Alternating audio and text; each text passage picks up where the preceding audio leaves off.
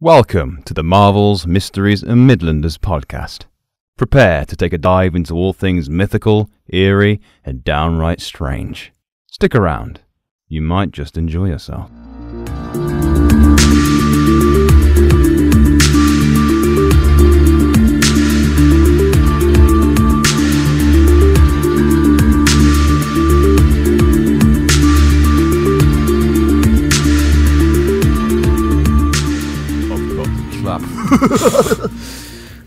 How you guys doing? How's things? Yeah, a little bit, a little bit tired. Little Yeah, bit how, how, how was your uh, your big your big weekend? Yeah, because you you two been both busy. Let's hear about it. Tell me about your lives. Uh, Tell me about your lives. Well, haven't got in- one. in Wales, this yesterday was the first night that uh, clubs opened. so everyone out was out on the lash, fucking each other and fucking each other up, But not you. but not me. Uh, what about you, Lewis? What you been doing? Yeah, Lewis. Uh, I had a leave in do. Hey, did Lewis Carter become mental? Lewis' father. Carter. Lewis father.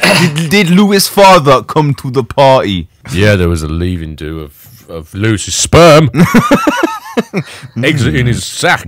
There's protein everywhere. Yeah, um, that's good. Uh, So you both had quite like a partying kind of a, you know, vibe, yeah. yeah. Yeah. Yeah, Yeah. yeah. I um My watched. voice is a little raspy. It's okay. Well, add, add to the effect of the episode. Oh, It's fine. So I really like this idea. The story is positively haunting in every way. That's what you got to sound like for the rest Oh, of the it's so cold. It's so cold. They think it's all over. It is now. Um, I spent my weekend. I did a fair bit of crying this week. Oh, how come? I watched a film called The Electrical Life of Louis Wayne. Um, it's about the artist Louis Wayne. He, he did these um like paintings of cats in like the Victorian period. And the film, mate, it just I watched it thinking, oh, it's just about this kooky guy who paints cats. You know, oh, it'll be it'll be fun because the, the guy who uh, did Flowers did it, Adam. Oh, really? Yeah, the guy who directed Flowers did it. So I, you know, I've been following his career with great interest, and um, yeah, watched it, and I was like, okay, one bit maybe cry. I was like, yeah, it's fine, and then I cried again and again. I just, I just, cry, I haven't cried that much to a film ever. James, you know men don't cry. That you're not allowed. Welcome to Marvel's Mysteries and Midlanders, everybody. On this podcast, we promote crying. Adam is a a sadomasochistic. No, that's the wrong word. He's a chauvinistic pig. There we go. That's correct. And That'll he is, frankly, disgraceful. I promote crying as a man. As a man, I promote crying because you shouldn't bottle your emotions, Adam, or you end up emotionally scuffed like you. Nah. You I feel like I'm emotionally superior. I don't cry because I'm actually dead inside. I don't Yeah. cry because I don't want to cry. So fuck you all. Lewis, how about you? How, how about you for crying? You you a big crier, big time crier? Yeah, when you need to, you need to, don't you? There you go. The man the man said it. The man Very said mature, it. The uh, man said it, mate. So you know. Well, I'm sorry that me crying is so embarrassing to you, Adam. But deal with it. But yeah, watch pig. watch the Electrical Life of Louis Wayne. It's got an incredible soundtrack that brings this boy to tears. So welcome to Marvel's Mysteries and Midlanders. I am James. The man who has no emotion is Adam Daly, and That's the me. other Hello. soft-voiced gentleman who is nursing a potential hangover. I didn't ask. Is Lewis Carter. Oh, Hello, Benedict hello, hello. Cumberbatch is in it. Yeah, Benedict, Benedictus Cumberbatch is in it. Claire Foy's in it. Uh, pretty much all of the Flowers actors are in it. so you know, you, you want to okay. watch it. You Looks to like watch it. I maybe we'll watch this. Then. Amazon and uh, cinemas sponsor us because uh, Louis Wayne, uh, Electrical Life of Louis Wayne, is worth watching. So, gents, this week I'm completely sober. Won't embarrass myself, not in the the alcoholic sense, anyway. You know. But today we're covering a true crime story, or are we?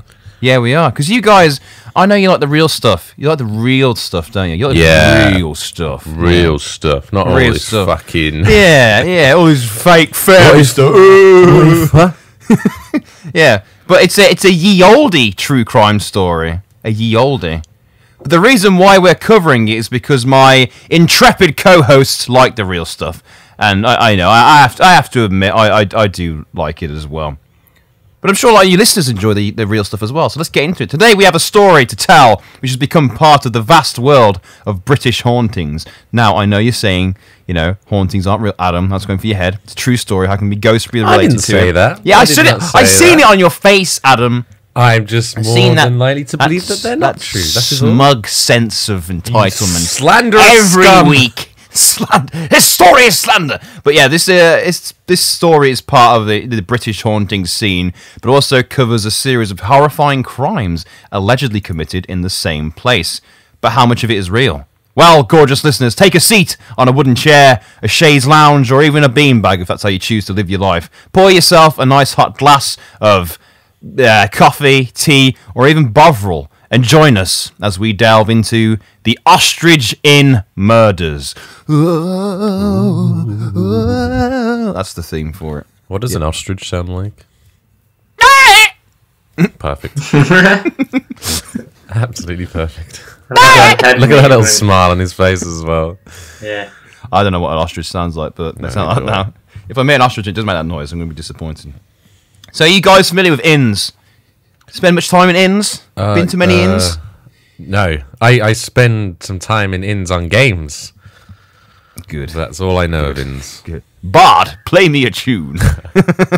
right. About you, Mr. Carter. Yeah, just a pub with rooms. I mean, yeah, I, I guess. Wait, what are you eating, Liz? You eating like some sort of like root or something? What is that? it's like What is a cable. Oh, ca- cable time. Oh, cable Why are you chewing? It Was it a good I night last know. night, Lewis? Uh, don't do the gurning face. It disturbs me. But yeah, the last inn I stayed in was the, I think it's the King's Arms in Didmarton in the Cotswolds. I whenever I stop in an old place, I'll message my dad and be like, "Yo, Dad, what's the down low on this place? Is it haunted or what?" Ka-chow, it's your son. Is there any ghosts? And it turns out it was haunted. But the funny thing is, Hannah said to me, "I think this place is haunted. I think there's something in the room with us." And I was like, "Don't worry about it, babe. It's not haunted.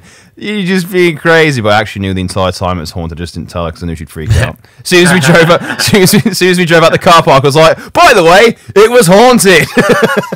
so yeah, little that's that's my inn story, but that's about it really in terms of inns. You know, Adam's a digital inn visitor. I'm a one-time inn visitor. Lewis, well, we don't know. He's he's so mysterious. It's mystery. Yeah, Doesn't don't say. know if I have visited in it. All right. We'll leave it at that. So, history time. The Ostrich Inn is, as of this episode's release, 916 years old, being opened in 1106 and making it the fourth oldest pub in the UK. Being beaten out by the Old Ferry Boat Inn in St Ives, Cambridgeshire, which opened in 560 AD. Listen, we Brits, mate, we've been partying for a long time, mate. We love an old pub. We've been partying for a long time, mate. You know what I'm saying. But anyway, to give you a further insight into the pub's opening year, this was the year when Henry I was on the throne. That's that's a whole seven Henrys and other monarchs before the whole wife and male heir obsessed one came along. The Ostrich Inn itself is located in Colnbrook, near Slough, Berkshire and was once known as the Hospice, but over time gained itself a new name. I mean, I wouldn't want to go drinking in a place called the Hospice.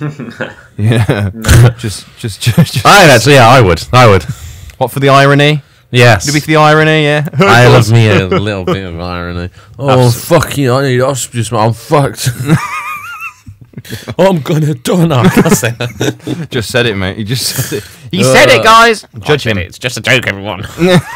it's just a joke, guys. But how would you work that into conversation as well? Do you want to go for a drink at the? uh Looking over your shoulder. I think we'd have to do with you and just not say anything. Excuse me. I have to do with Oh. you and just not say anything, just like your uh, your wife situation. Like, I don't tell my wife anything. I'm one of No. those husbands. I You don't. I don't. You tell your wife don't need to either. know that. What was that? Sorry. Oh, sorry, it was nothing, James. Don't No, you, no, please, please repeat that. Please repeat what you just said. I said I don't say anything to your wife either. I know there's much you'd like to say to my wife, Adam, Oh, because you've told me instead of her. you sicko! I pretend that you are her sometimes. Picture me on the wall with a red wig on.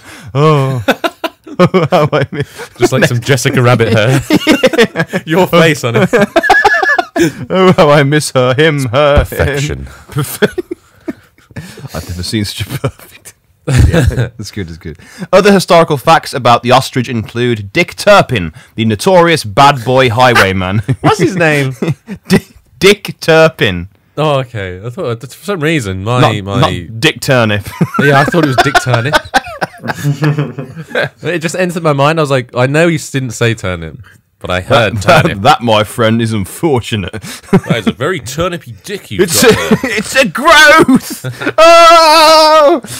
Very tumorous. Your dick is tumorous, mate. Jesus Christ.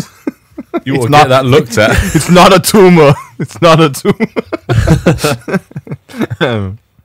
Yes, uh, Dick Turpin, notorious bad boy highwayman, used the inn as a hideout, escaping the Bow Street Runners, which sounds like a band like Dexy's Midnight Runners or something. Oh, yeah. Come on, Ollie! Come on! It's you, uh, come on. Yeah, Come so on, the, England. Go, come on. So the Bow Street Runners were London's actual first police force. Before they were called the police, they were called the Bow Street Runners.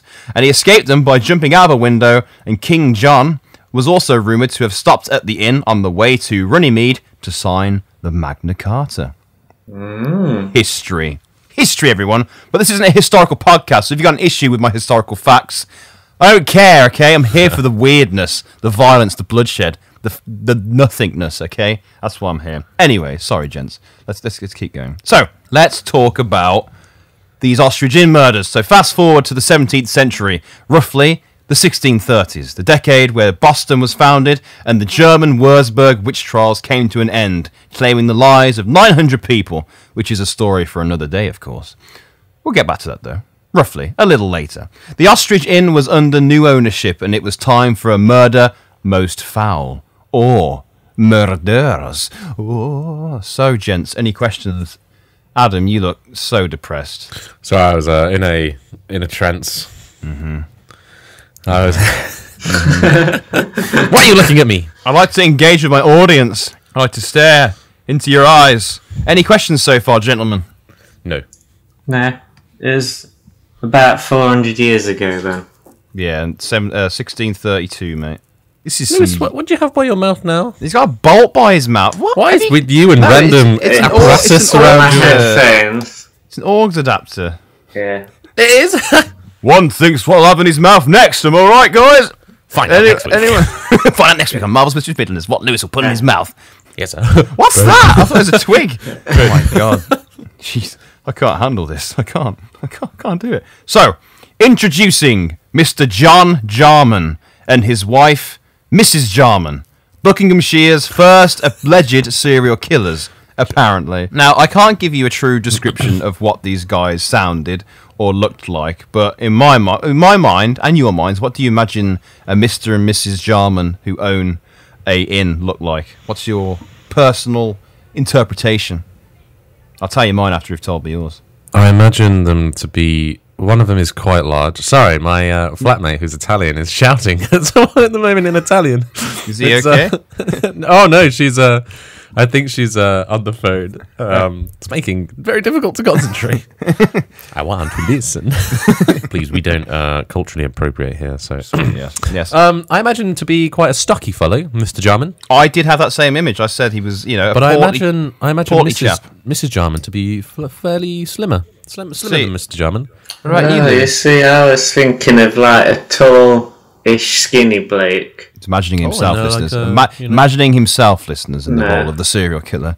Yes, I Like an commit to that. older, older, like I imagine uh, him to seventy-year-old, glasses, uh, seventy-year-olds. I would imagine him as, which is probably not realistic four hundred years ago. But Seven? Did you say seven, 70 year old? yeah, No, I'd say they're the more middle aged. I think they Okay, were. I, yes. th- I think that's again. There's no age for them in this. To be fair, Yeah. it's just um, that's what I go for as well. one I- tall, skinny guy and one short, chubby girl. ah, so you've kind of gone opposite of what Adam said. Yeah. See, I said they were both quite a portly couple, well fed, one might say, fat with muscle. So you know that that kind of stocky. You know, could take you in a fight easily. You know, they weren't. Adam, are you still being harassed by Italian? I'm still trying to listen, yes. Why are you listening to someone else? It's quite fascinating to listen to. More a, fascinating than me telling a story about I'll, I'll be honest. Ye olde It's- serial it's- killers? It's on par. It's on par, okay. That's bullshit. I it's, feel it's it's it, it's almost like a Mm-hmm. a sonnet listening to uh, an Italian lady argue and shout in Italian. one more cornetto. Please shout at me.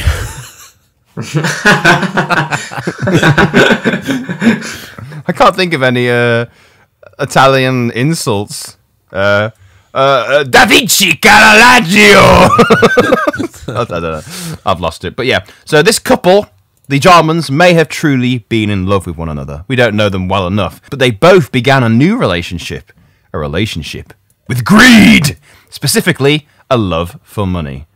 I like money. I like money too. I like money. Yeah, this. That was good. Thank you, Mr. Krabs. There, yeah. So uh, this scheming couple did their research and opened up an inn on the main road to Windsor, and also from London to Bath at the time, which was the Ostrich Inn.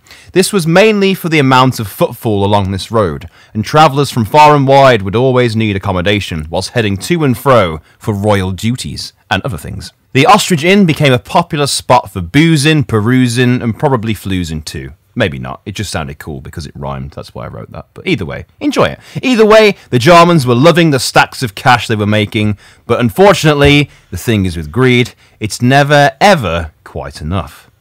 So, what's the best lucrative sideline to pulling pints, would you say? If you were running an inn, pulling pints, you know, Uh, boudoir. Leasing rooms. next to running an inn. Oh, yeah, obviously.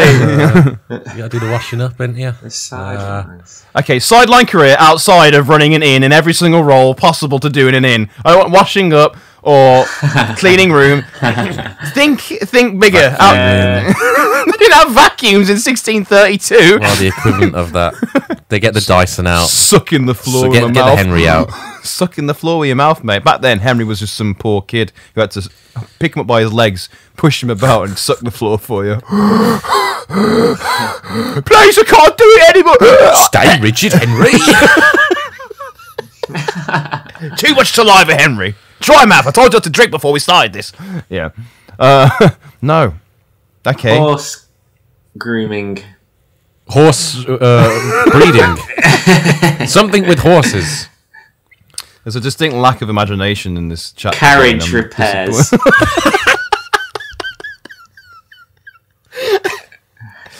anything a little more, you know, Whatever weird? the um, anything weirder out there you want to maybe whatever the 17th century equivalent of selling Avon door to door is.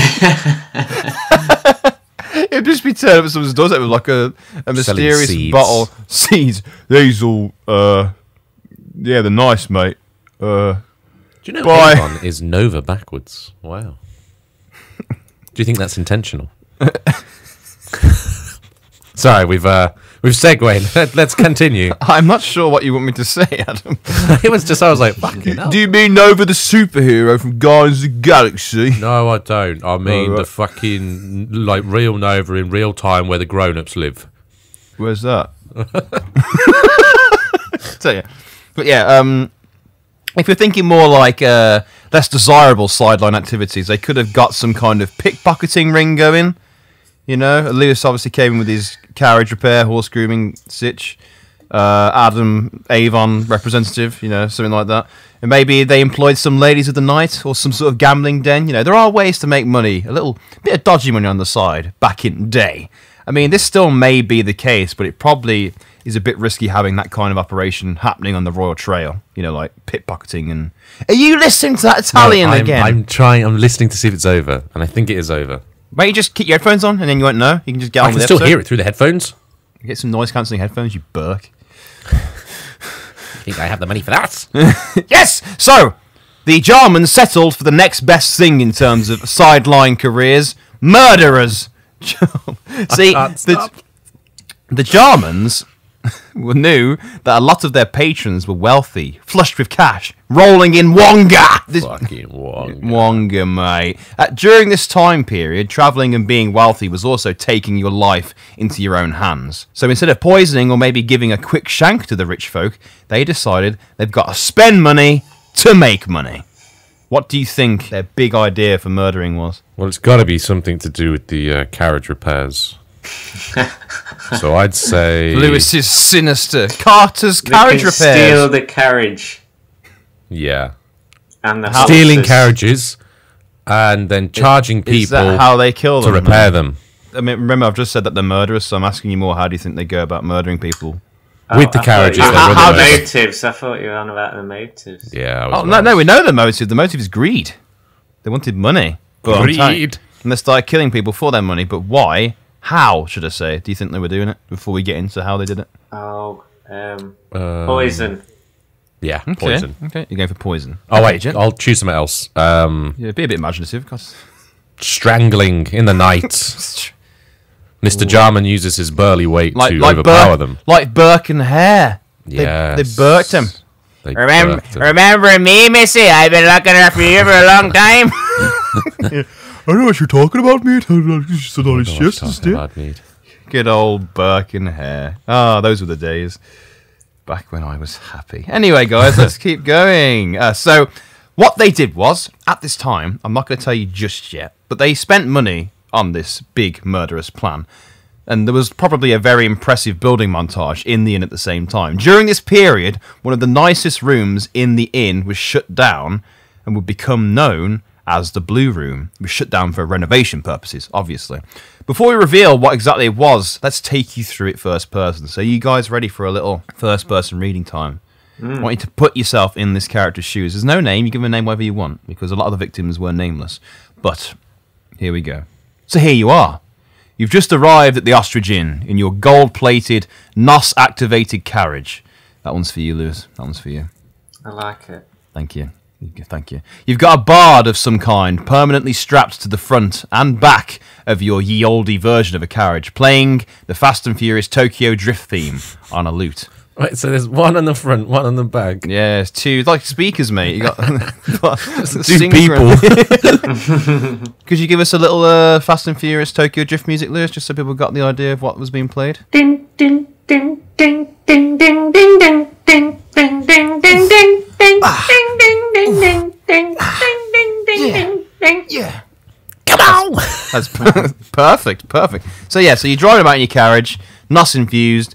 dead fast, loud uh, bards playing at the same time. You're making it quite obvious that you're a rich person, a Richie McRicherson, so to speak. But that's okay because you're safe. You're on the royal trail. Nothing possibly bad could happen to you. So you arrive at the inn, and as you enter, you feel this is the kind of place you can get down with. And soon enough, the landlords notice you and dart over towards you. The small, portly woman shuffles towards you with an almost unnerving smile stretched across her face. She says, Hello, my dear.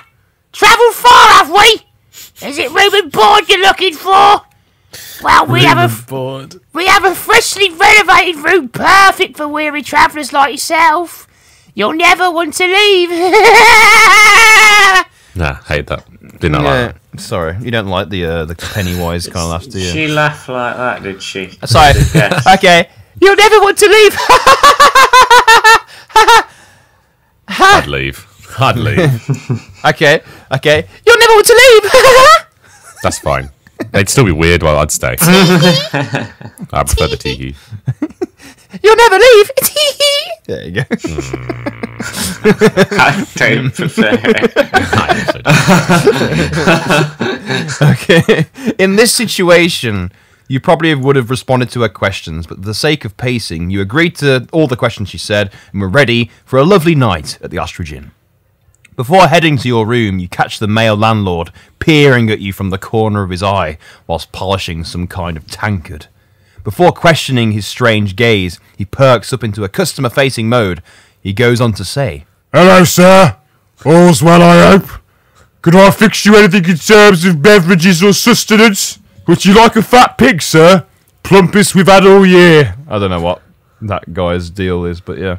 As you nod, salivating at the thought of a tasty pork dinner, you quickly hear Mrs. Jarman say, Put it in the sty. and with that, she Is there a you. vegan menu? There's grass out back. We've got tofu in the back. There's ch- We've got tofu in the back if you really want me to open it.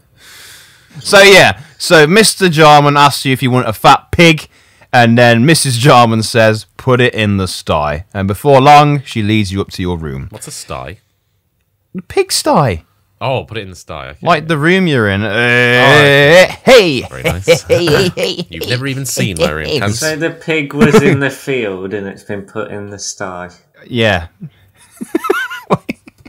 yeah, sure. The pig was in a field, and then you know what? This is going to make sense. So I appreciate if you don't try and rip apart this part. Sorry. You know, I appreciate the questions, but okay, yes, Lewis. They took Sorry. The pig, they took the pig from a field and took it into the sty for slaughtering. Okay, Is it- can you handle that? Yes. Is that good? Good. So it was late in the day already, and you could feel your eyes slowly easing shut with tiredness. But the room before you was fancy enough for you to quickly take in its majesty. A fancy four-post bed, some impressive curtains, and overall just absolutely quality interior design. Quality. You jump into the bed like a rich lad, like you are, hearing the creaking and clanking of the bolts and such. Before you know it, you are in complete silence, listening to the sounds of the inn, quiet footsteps outside. Outside the door, you can hear carriages moving in the distance, and then all turns to black. So you guys think next strangulation or poisoning, yeah? Mm-hmm. Okay. In this deep sleep, you find yourself suddenly gliding about until you realize you are actually awake. And you look up to see yourself sliding out of the bed into some kind of chute. The chute itself felt slick with some substance, and the temperature was rising rapidly. Just what the hell was going on? You're a rich man. This ain't for you. What is this? Can you imagine just waking up and like you're halfway like down the bed, just moving? Like Fucking hell, what's going on? and you just is it one of them Wallace and Gromit beds? Yeah. Cracking bed, what? what? cracking bed, Grubby. I went to say womit. Cracking bed, wobbit. Yeah. And then um, what's waiting for you? Just as you slide, you see that penguin thing staring you from the end of the bed. or what the hell it is. I don't even really like Wallace and Gromit, but I've, every Christmas day it's on. And I end up watching it. Bastards. How dare they? So yeah, regrettably for you, the ride is almost over, and all of a sudden you are submerged. Intense pain fires all over your body, and you feel a gloopy substance creeping its way into every orifice. Ooh. Every orifice. Say goopy. Goopy, yeah. Ooh, I don't like that word. I don't like that. You don't like a lot of things, Adam. No, I'm a very particular man. I don't like goop. I don't like high pitched laughs. I don't like crying. That's all. That's my Tinder profile. No crying, no goop. don't be goopy. don't cry. And No, don't have a no munters. You said that, James, not me. It's an in joke. You don't get it. Anyway, Oh, sorry. The I- pain. Am I not in? I'm not a part of the fucking James and Lewis club, am I? no, no, you're not. Maybe when you've done 50 episodes, mate. All right. the pain builds and builds. You scream and flail however you can, looking for a way out of this inferno. As you scream, more liquid falls into your mouth and your insides start to burn. Burning, burning, and burning some more. Adam's doing an amazing flailing impression at the moment. It's really getting me into the moment. Your skin blisters and bursts, and your screams are cut short, and you are no more. Oh. Before you know it, your body is being carried out to the back door of the ostrich, stripped of its clothing, and thrown into the cooling waters of the brook just behind the inn. So then, gentlemen, this is what the Jarmans did to their rich patrons. But can you accurately tell me what you think happened? Yeah, just, I just described it, but yeah, give, give me your best shot. I reckon, did they boil them alive or something? Sounds like they deep fried them. Yeah, something like that. Yeah, basically, Deep- yeah, they Deep They deep- fried royals. Woo! royals. deep fried rich people, at least. Yeah, so that's that's what happened. They boiled people alive. Ooh. grim. So let's go into what actually happened. So the Jarmans were greedy, but also kind of smart, targeting only the richest of travellers, high risk and high reward targets. They'd figure out who was perfect for monetary harvesting, and when Mr. Jarman asked if they wanted a fat pig, this was the call sign for murder. If ah. if this customer was acceptable to Mrs. Jarman, she would respond with put it in the sty. Put it in the sty. Like from outs on the field, and then they put it in the st- Exactly like that, Lewis. Exactly. the customers come from the field and then they're being put in the sty. Yes, which is a boiling pot of oil. Delicious. Adam, have you got your nails painted white? Yeah, Well, you've got that a a problem? no, I thought you had a serious calcium deficiency or something. no, they're white. Apparently, that means you're taken. Does it really? That's someone told me yesterday. Apparently, Is that why you- you've been so under? oh, let me get I'm my tiny stubborn. violin. yeah. Well, is that why? Is that why? Is it alright if I have painted nails, James? Hmm? I didn't say it's a problem. I just, I just merely pointed out that I noticed you have painted Just nails. because I don't cry does not mean I'm not in touch with my feminine side. Not everything has to be an outrageous point. Okay. wanker. Oh, I do. I do philosophy, therefore everyone offends me. You know what? You ain't special. I've got twenty Adam Dallies lined up around the corner, I am special. I am James Bond. Yeah. so, but yes, Adam. No, I liked it. I was just merely pointing out that I like your painted nails. Wonderful. I I'm glad get you like it. I did it for your approval only, obviously. everybody wants Daddy James's approval. so the room, the blue room, was renovated to look as lovely as it was described, but a few key details are made to the very structure of the room. The main one being a contraption hinging the bedstead, causing the bed to drop to a 45 degree angle and slide out everything on it, to which it took a short trip down a chute to ultimately end up in a massive vat of boiling oil, grease, or water. The, inter- the interpretations vary. That is a big pot. That is- Yeah. yeah. That's how do they? How do they like? You gotta have some kind of like coffin-sized boiling pot or something. Coffin size, yeah. Because you ain't gonna fit someone in like a witch's got a cauldron. sub- yeah. yeah, big one, mate. Yeah. And you've also got to drag them from the bed. How did they drag them without like waking them up? Well, They They must have, don't like- drag. What do you mean drag them out the bed? I The, thought you said they dragged them out of the bed. No, the oh, they went bed. through a chute. the bed drops Oh, to a forty-five. I've just explained this. All right. Uh, you listening? Exactly. For once, I was Adam. I was thinking that they were like just being dragged out of bed. Like, well, that fat pig was delicious. I can't wake up. No, no. The bed dropped to a forty-five degree angle, and they slid out into this chute. how did they have this technology? I'm sorry, but It's only hinges and bolts, mate. It's not that, that. I, I can't. Can I figure? out Can you figure out hinges and bolts? cracking chute. What? Uh, so yeah, the bed contraption was triggered by us turning a small lever. But you may be wondering, how did the Jarmans know when to drop the fat pig into its sty, so to speak? Well, a peephole, of course, or just a keyhole in this case. They literally just looked through the keyhole to see if they're asleep. Through the That's keyhole. Yeah, through the through the keyhole, mate.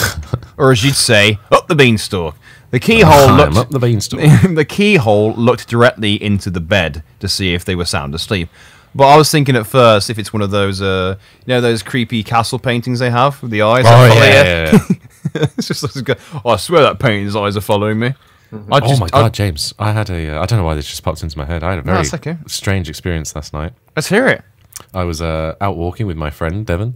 Big up Devon, and um, Devon! Don't know who you are, but hey, you're a friend of And we Adam's, were so you're a friend uh, of mine. we were just sitting on a wall and we looked to like the side of us Mm-hmm. and there was just this house and there was a silhouette like literally as if someone was in front of the curtain but you couldn't see the face just Really? staring at us Ooh. and I couldn't see the face so I like waved at them no, absolutely nothing At- 'cause Hello. this was, this was at like I don't know half one in the morning so I waved at them nothing happened I I waved both I was literally like I need them to acknowledge me because I'm freaking out at the moment like it was the s- it was the freakiest thing I've ever been through. And then like I kind of like I think they moved a little, and I ran away after that. Really? And then I went back like 30 seconds later, and they were gone. I think, imagine if like the opposite thing, like that person was watching through the curtain, and they were like, "There's some crazy man staring at the Right. flat. Oh, he's oh, waving his arms. Oh, oh, hey, hey, oh, hey, hey, hey. yeah, just that, just taking place. But yeah, it's funny you should say that though. That is that is really really creepy. What do you think it was? If you honestly, from your point of view, I reckon it was a ghost. Really? It was unnatural human behavior, What moving slightly or standing at a window? just standing and staring at me. And I couldn't see your face, and it was completely because um, uh, the light, the light, the light, Okay. the light was on in the background, Yeah. but I could, you just couldn't see anything. It was just Dead, pure, pure dead still. They weren't swaying. or dead anything. still. How long was this going on for? At least like a good forty-five seconds of me just like Oh. trying to A good forty-five. fucking minutes. wave at me. Yeah. Just being Look like that. at me. Yeah. Anyway, apologies for this segue, everyone. Um, No, don't, no, don't apologise. That's that's. I- I have to. I have that to is apologise. on brand. That's Oh, okay, fantastic. okay, it's on topic. That's great. Yeah, it is. I had a speaking that's, experience, James. That's good. I'm You proud of me? glad. Yes.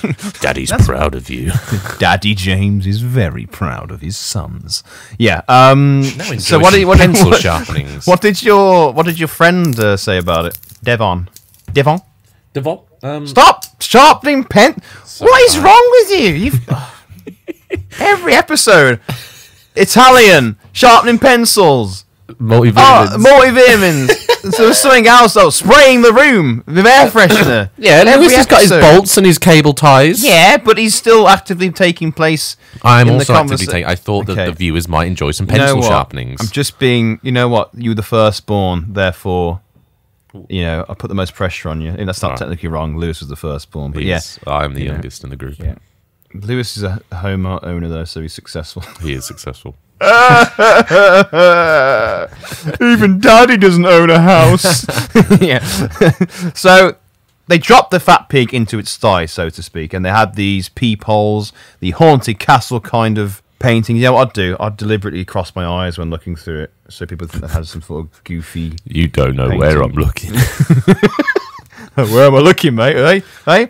So also, my first thing about this story is if like they were falling for a shoot, and you're a bit of a screamer, how come Yeah. nobody in, uh, no one in the other rooms heard? I didn't like that. I can't imagine the drops that long. Yeah, No. to be fair, it's not the, the ostrich isn't that big. It'd be like, I'm, I'm imagining there's not going to be like soundproofing there, is there? So you're going to hear the fucking mechanics of the hinges and everything go up, and there's fucking it'd be- it'd massive just be like kaplunk. motherfucker just goes down. kind of sus. I don't know. We need to oil those hinges again. And then just the fucking screams of the man being boiled alive. But anyway, yeah. So you got the, you can hear the screams, the cranking of the uh, the, the contraption and stuff, and um, obviously people being boiled alive. So unless you've got some tip top 17th century soundproofing, I feel like more people would have heard it. Maybe just screaming was a big part of how things Maybe work. they only then. have one person in at a time. yeah. Maybe the room rates are so competitive that the guests don't mind the screaming. You know what? I'd pay one shilling for a night here. I can handle a bit of screaming. ah! Ow! Ow! Speaking of being boiled alive, Richard Roose, a man accused of poisoning a family in 1531, his form of execution was being boiled alive for his crimes for a period of two hours. Appar- apparently, in this two hours, he was lowered in and out of the boiling pot three times until he was dead. And apparently, he roared loudly as he went in. Roar. yeah, not Scrooge. He went, roar! Roar. Oil hot. Oil burny. Mm. But either way, though, boiling someone alive is not a quiet. And also, if it's a big vat, how do you heat up a vat that quickly back, back in there? You think you have it on from the morning? Yeah, of it on all the time. yeah. Yeah. I just You someone just put Yeah. the gas on six. Yeah, it's going to and be a big gas That's going to be a massive gas bill. Did they have gas back then? I don't think they had gas back in the 17th century. Yeah, I guess you just have like a big That's a fire. lot and of you- loud. You need like a big ventilation. Imagine if a guy went, uh, bloop, and it's just like absolutely freezing in there. Oh, Also, what did they do with the oil after they burnt people alive? cooked- Because obviously, probably I mean, cooked people in it. oh, gee, Or, or, or, or reused it. I mean, why would you? Reuse, yeah, yeah. reuse. You know, you're killing these people, mate. What would you give a damn about the yeah, hygiene of the dunno. oil? I, I'm just saying, I, I, I wouldn't use that oil on a. I'd use fresh oil. Okay, Nah. that'd be a co- was- that'd be a costly. So wasteful. Yeah, too good to go, mate. Too good to go. Well, sorry, I'm a man of high tastes. You're a man of wasteful taste. High five, anyone? High five. Yeah, high five, someone. Oh my god. so either way, though, this is how the Jarmans did their dirty business, claiming all of their goods as their own and selling their horses and even their carriages to some local gypsies. So imagine the drivers of these carriages coming out and being like, "Well, Where's it gone? Yeah, What? in the bards. Yeah, the bards. Are oh, that was that. gonna? The bards was an embellishment for the tale. I just want to put that What? in there. Yeah, Oh, sorry, okay. mate. Yeah, They weren't j- j- Did- uh, did they- typical James fashion, Lewis. They weren't real. I'm trying not to be hurt. Yeah, I'm in quite an emotional state. you know. Oh, why don't you go cry to Benedict? You just you just don't understand how I feel. you don't know who I am. you don't know who I am. But yeah, um, so these drivers were basically told by the Jarmans that their passengers had left early in the day, leaving them no longer requiring their services. Just a typical rich people. Oh. Fucking bourgeoisie. Eventually, like most stories about murderers, they eventually got caught. The Jarmans' days were numbered. See, the issue with killing off so many fairly rich people is that they are connected. They have fa- not like poor people. They have friends, families, lovers, and people who actively look out for where they are. Fucking poor Unlike poor people. people who have none of that. Poor people don't have families, friends, or lovers. It's only rich people. you people got no do. friends, mate. You poor or something. Just go buy some. But you know, mates. yeah, exactly. So, when it came time to kill a well clothier or clothier called Thomas Cole, they didn't know what was going to happen next. Being from Reading, Cole arrived at the inn in the usual style and was soon enough offered a fat pig and brought to the boil, so to speak, and plopped out the back in the brook once more. Imagine like if you were really hungry and you got to this inn and you were thinking, "Fuck, that pig sounds nice," and he just ended up dying. I'd be quite disappointed in that.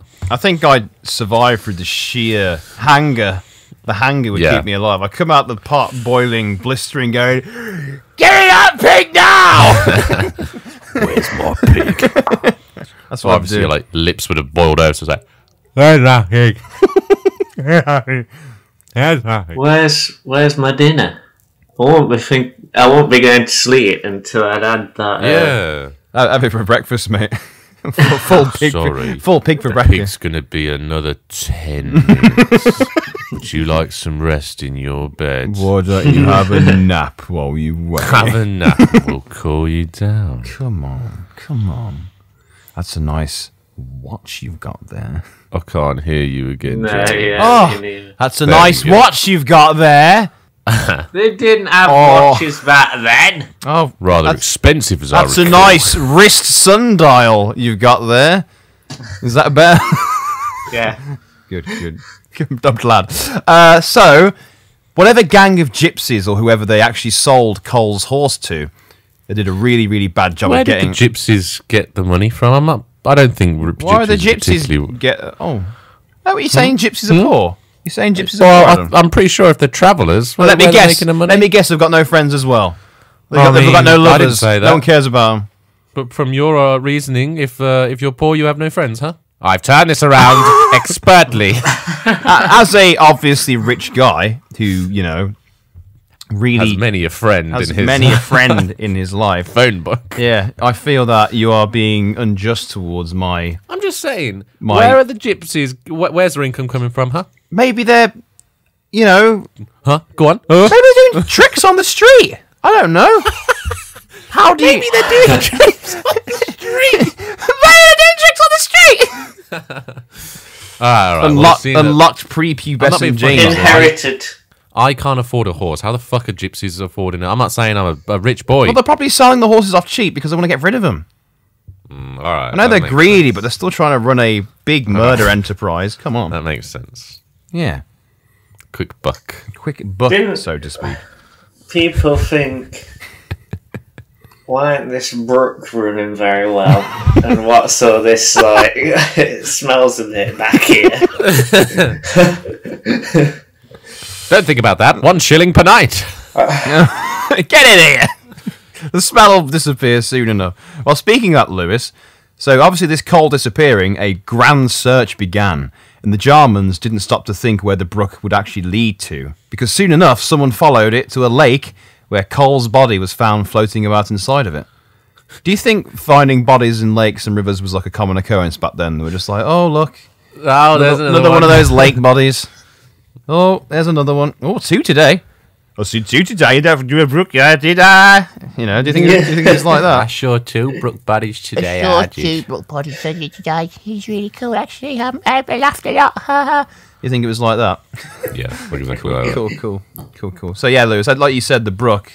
You know, maybe it was a high, a high flow brook, and the body Yes. got sucked off down it real quick.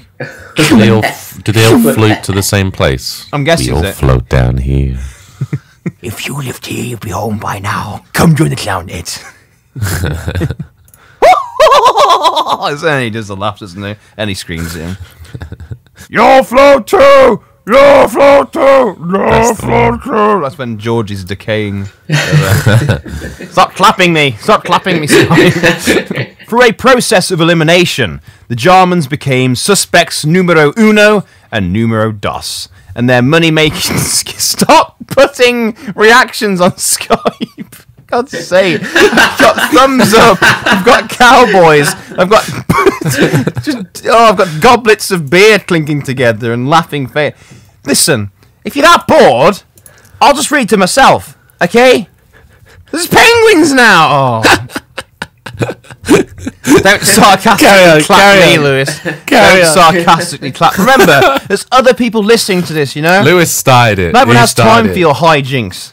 He started with the cowboy. The cowboy. Howdy, Pot. Yeah. Okay, so Jarmans were suspect number one. Yeah, suspects numero uno and numero dos, because there's two of them. And their money making scheme was brought to an end. Mr. Jarman actually did a runner when he felt like he was about to be caught and made it as far as Windsor Forest, 10 miles away, before being apprehended. It's not actually known what happened to Mrs. Jarman, or at least how she was caught, but like many missing details of the story, it will actually become clear later why. Jarman was actually charged with 15 murders, but he himself told the jailers it was closer to 60 people. He grassed himself in. See, imagine, imagine the oil. You will recycle that much oil after sixty deaths. I, I, I'm not sorry, but I wouldn't. I wouldn't like fry an egg in that. That's that's that's a tasty soup you got there. Put some coriander in it, mate. I'll be good to go. It's a bit lardy. it's a bit lardy, man. Either way, Mr. and Mrs. Jarman were both hanged, and that was the end of it. It's said that the village of Colnbrook was actually named for this particular event, with Thomas Cole, the last victim they murdered, Cole in the brook, and eventually over time becoming Colnbrook. This has never been truly confirmed, but that is, it's, a, it's a play on words that may be true. May be true, guys. Coal in the brook. Oh, coal in the brook. Look at that water. There's a coal in the brook. Yeah. No, you need to, you need to do it in the, uh, the, the creepy little girl voice. Call in the brook. Well, Call in the brook. nah. Down the brook. There's a call in the brook. Oh, I got you, boy.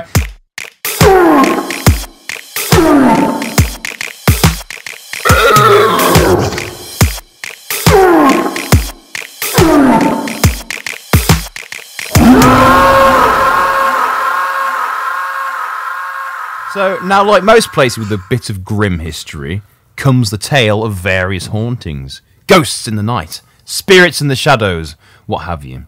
Strange noises, ghostly figures, and poltergeist activity are all said to be part of a day's work at the Ostrich Inn. The former landlord, Mark Bourne, said it was all true, going on to say that a woman in a Victorian dress and a ghostly young girl are just two of the many spirits said to haunt the inn. Next to these apparitions, you also have the staff reporting equipment going off and on, cold spots, and overall feelings of despair. That's just cool working in the pub, bub. You'll get over it. hey. it's called that nine to five. Mate, most my sisters work at a pub, and it's more like three till one a.m. Life. Well, I don't know a song about three till one. Working three till one.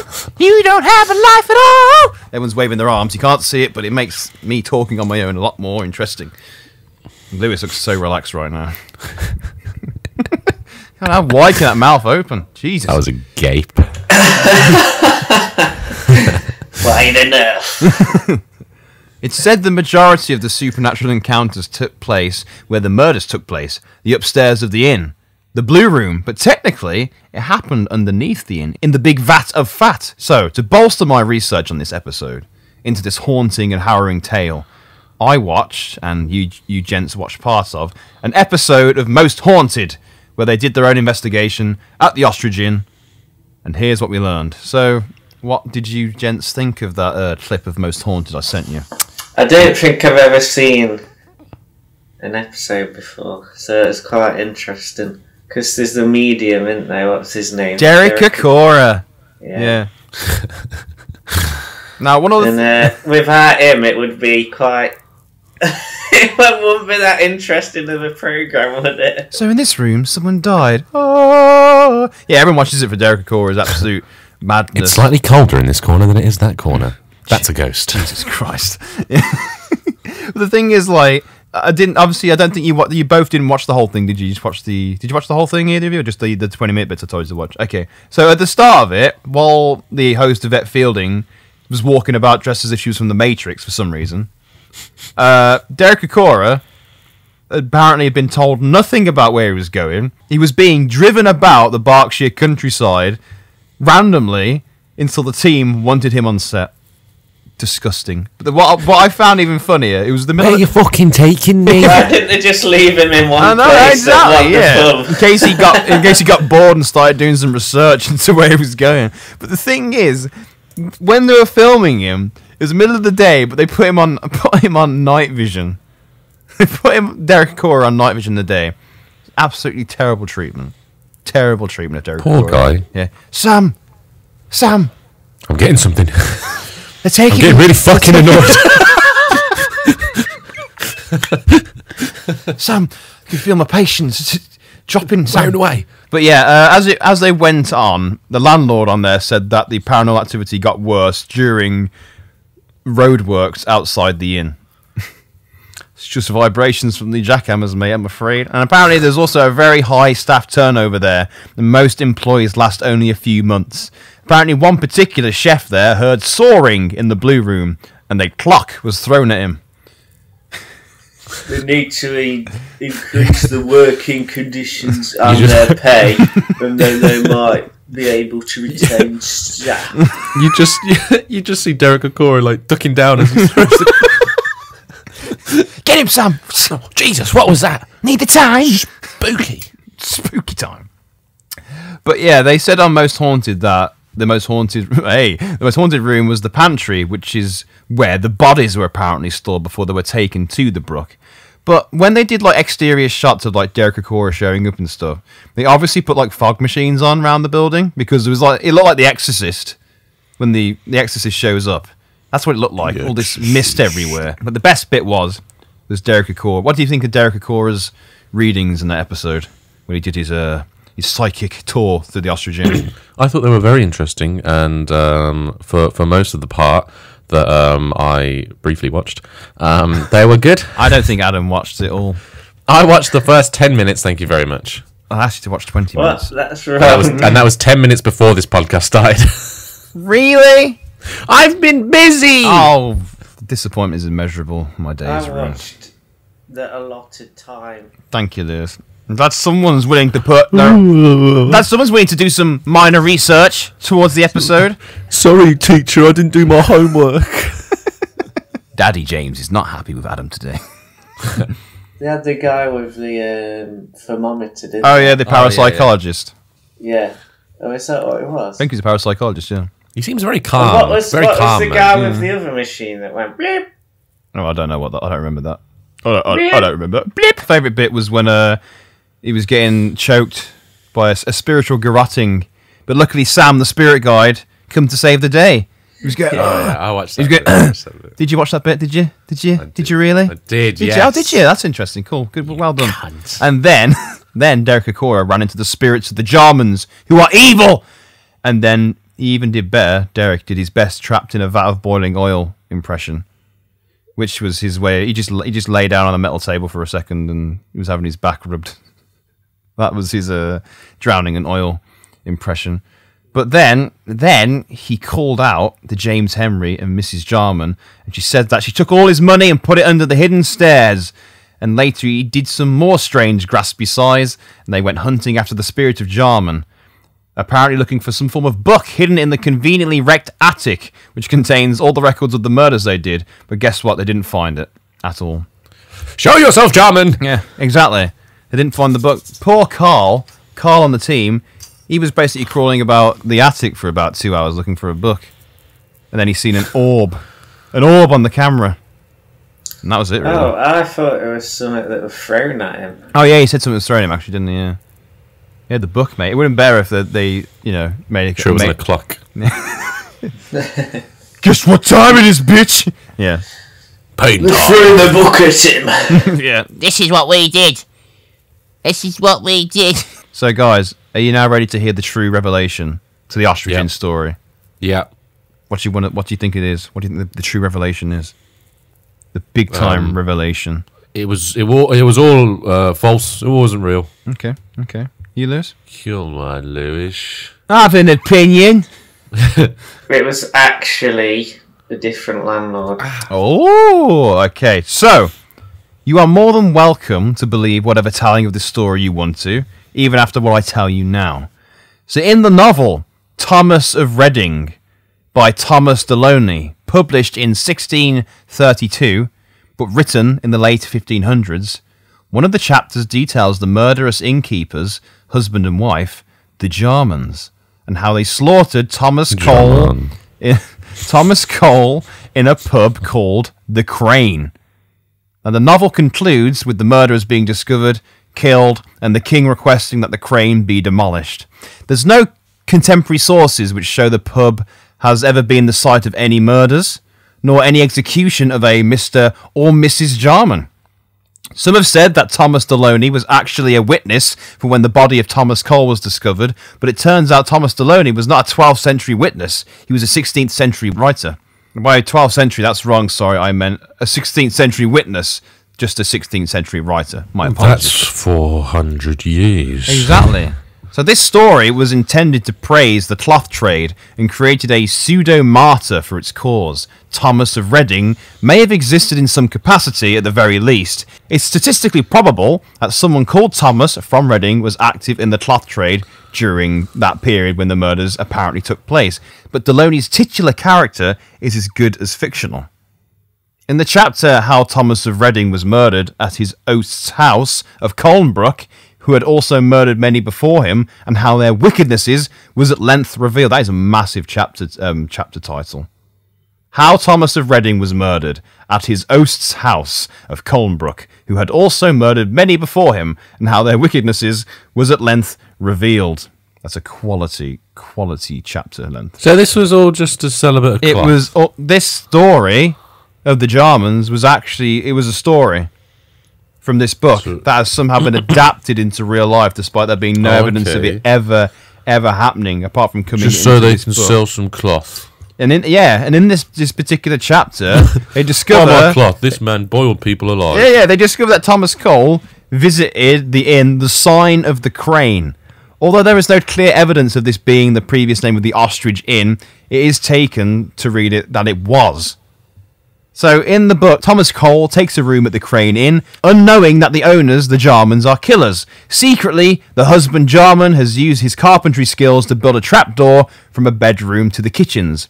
One pull of the lever, and the sleeping inhabitant falls into a boiling cauldron and is either boiled alive or drowned. And the opening paragraphs of this chapter describe how the Jarmans see Cole as a quote unquote fat pig and ready for the slaughter. Later in the story, when Cole suffers a nosebleed and melancholy, they take their chance and dispatch Cole as planned. The next day, Cole's wife asks a servant to find Thomas, and on discovering no one had seen him leave the village of Colnbrook, suspicion falls on the Jarmans of the Crane. And eventually, it's discovered that, you know, they'd apparently killed 60 people, but were still in debt, hence why they were killing people for their money. So that's what happened in the book. The argument is that there is no true relation of a real incident that took place. The book is a novel, not history. In So it's all made up. yeah, basically. fuck's you Yeah. I got you, baby. Hey, I'm no, I'm not about to, you know. I'm t- we we will. Okay, I promise you, we will. I've- I'm writing one right now. That is true. Okay, I promise you, I'm writing one right now. But it's still being reported as the first documented case of British serial killers. Even though they weren't real. Exactly, and it continues with ghost clubs all around the country, including most hunted, most haunted, most hunted, most, Most haunted. haunted. It's you, James. Yeah, ghost clubs around the country make several mistakes. Thank you.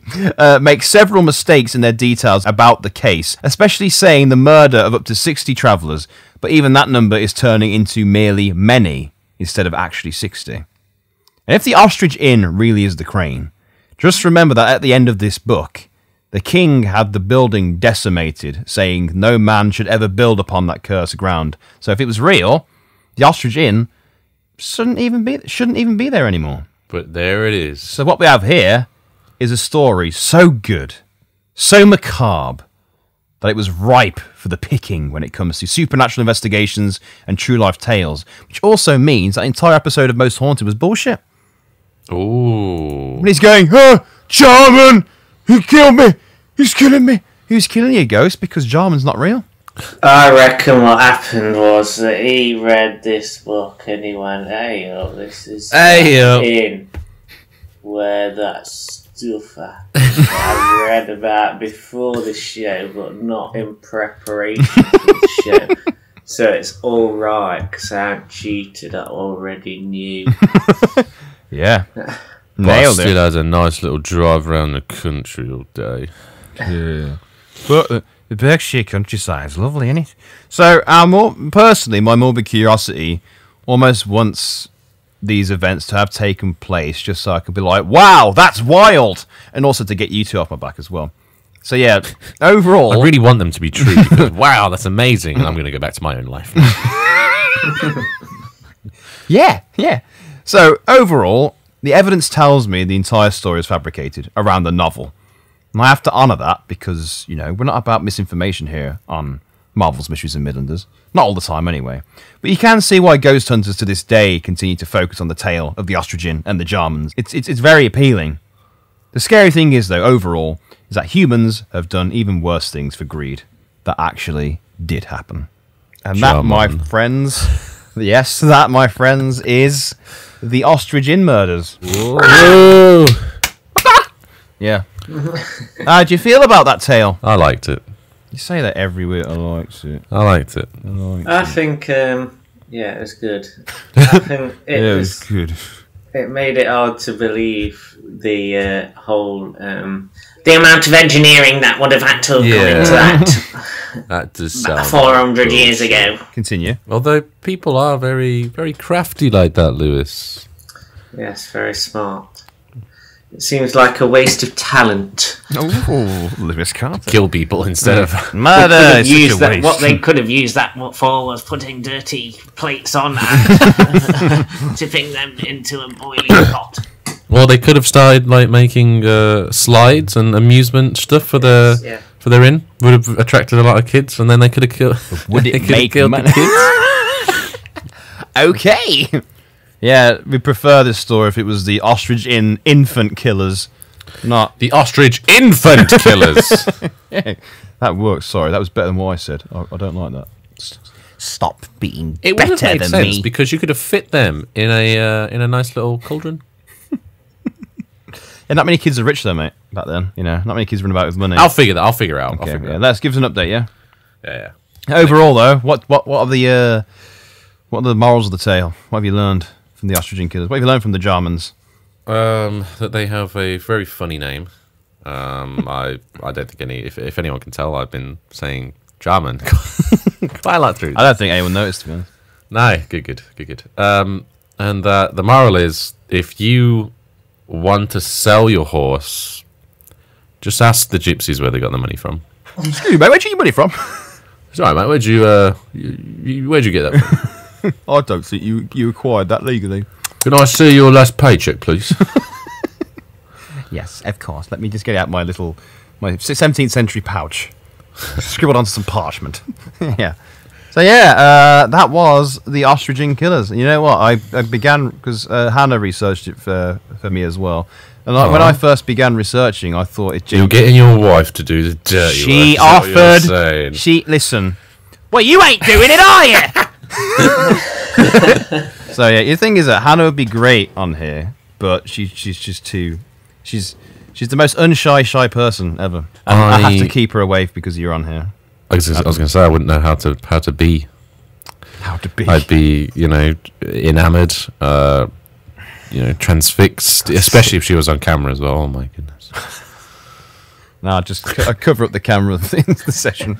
Remove your thumb. This has been a an ongoing issue. Listeners, Adam has been lusting after my wife for many a year. Maybe maybe since I've known him. I'm so happy you were getting married. Hey, that selfie of you, me and her, you looked very pleased. So, yeah. I just wish it was me. is that what it was? Isn't it? yeah. yeah. that was a horrible sound. yeah, I'm very uh, phlegmy at the moment. So, gents, that is the Jarmans, and that is us on Marvel's Mysteries and Midlanders. Is there anything you'd like to say before we finish this episode? Jarman. Yeah, yeah. You, Lewis? No. Cool. He's got nothing to I'm a say to simple you. man. Nothing to say to anyone anymore. So, everybody, thank you so much for listening. I hope you enjoyed it. Uh, if you want to get into contact us via email, it's marvels.mysteries at gmail.com. Or if you want to go on Instagram, find us on there where we do almost daily posts of some kind of uh, some kind of image. Uh, Some kind of bullshit. some sort of bullshit. I've uh, recently actually a new thing I've been doing now is uh, doing uh, like story reads, like two minute videos of me reading like a strange, mysterious story. So you can catch them on Thursdays. But anyway, if you want to get us on Instagram, it's at mm midlanders or at mmm idlanders. It's the same. Excuse me. It's the same. Same it's one. the same tag, but it's, I, I don't know how your mind works. Okay. Why are you listening to me, David? Still. That's it, guys. That is it. Happy, We're done. happy episode day. It always is. Until until Hang on. Hang on. Oh yeah, hang on. there oh, there we go. Lewis has just put a clapping emoji on the screen. Thank you. And balloons. Hey, happy new episode day. Well done. You made it this far. So until next week, we are Marvel's Mysteries and Midlanders. I'm James. He's Adam. Hello. He's Lewis Carter. Goodbye. Goodbye. Take care now. Bye bye then. See you later. Bye. Bye.